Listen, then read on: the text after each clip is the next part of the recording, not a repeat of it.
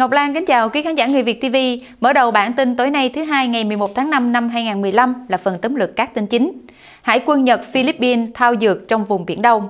Điều tra tham nhũng ở Guatemala dẫn đến cả thẩm phán tối cao pháp viện. Việt Nam xây nhà tang lễ để làm vỏ bọc cho sông bạc.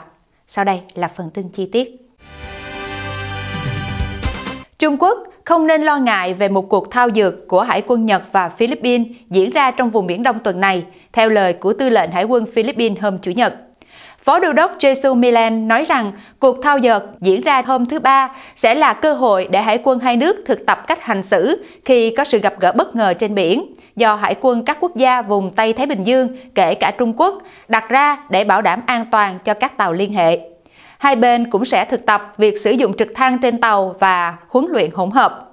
Khi được hỏi là cuộc thao dược có liên hệ đến tranh chấp biển đảo ở vùng Biển Đông hay không, thì ông Milan nói rằng đây hoàn toàn cho mục tiêu an toàn để tránh các cuộc đụng chạm bất ngờ ở biển. Phát ngôn viên Hải quân Philippines, Trung tá Luel Linsuna hôm thứ Bảy cho hay cuộc thao dược sẽ diễn ra trong vùng Biển Đông giữa Manila và Subic Bay khi hai chiến hạm Nhật trên đường về nước sau chuyến hải hành viếng thăm các quốc gia lân cận.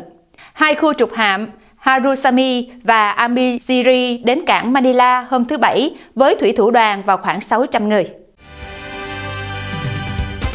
Việc thu băng các cuộc nói chuyện bằng điện thoại trong cuộc điều tra chống tham nhũng trong chính phủ Guatemala đã khiến cho nữ phó tổng thống bị mất chức và nay có thể dẫn đến cả tối cao pháp viện quốc gia này.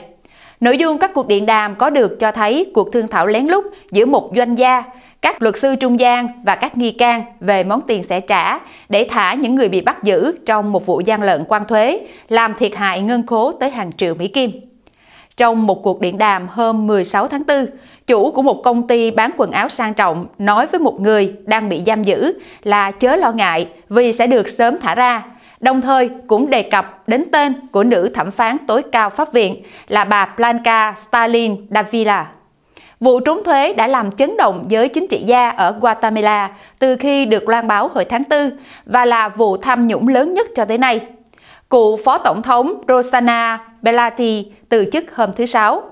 Cựu tùy viên báo chí của bà Belati bị tố cáo là đứng đầu âm mưu làm thiệt hại ngân khố hàng triệu Mỹ Kim qua việc nhận hối lộ để đổi lấy việc đánh thuế hàng nhập cảng. Ông này hiện đã bỏ trốn ra nước ngoài. Nhà tang lễ dưới chân cầu Rạch Lăng, quận Bình Thạnh, nơi khâm liệm những bệnh nhân chết vì bệnh S, thực chất chỉ là vỏ bọc của sòng bạc lớn. Tờ Pháp luật Sài Gòn loan tin, ngày 10 tháng 5, Phòng Cảnh sát điều tra tội phạm về trật tự xã hội, Công an thành phố Sài Gòn cho biết, lúc 15 giờ ngày 9 tháng 5, hơn 100 cảnh sát cơ động và Công an quận Bình Thạnh đã đột kích vây bắt nhiều con bạc đang sát phạt trong sòng bạc, trường gà tại con hẻm trên đường Phan Văn Trị ở phường 13 quận Bình Thạnh do Nguyễn Hoàng Kiệt 43 tuổi ngụ ở quận Bình Thạnh cầm đầu. Qua khám xét thì công an đã lập biên bản 71 con bạc, thu giữ khoảng 130 triệu đồng, 4.000 đô la, cả trăm điện thoại di động, 77 xe gắn máy các loại. Với thành tích ở tù dày đặc, để tránh bị theo dõi và che mắt công an, thì ông Kiệt đã cho xây một nhà tang lễ trên khu đất nằm dưới chân cầu Rạch Lăng, quận Bình Thạnh để làm nơi từ thiện, khâm liệm cho những bệnh nhân chết vì bệnh S. Tuy nhiên, cách đây ít tháng thì ông Kiệt bắt đầu tổ chức sòng bạc, mở trường đá gà ngay trong khuôn viên của khu đất có nhà tang lễ.